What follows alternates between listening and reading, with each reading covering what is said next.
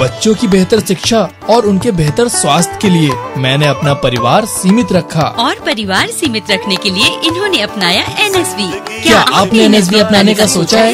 NSV पर अधिक जानकारी के लिए अपने गाँव की आशा या निकट के स्वास्थ्य केंद्र पर आज ही संपर्क करें।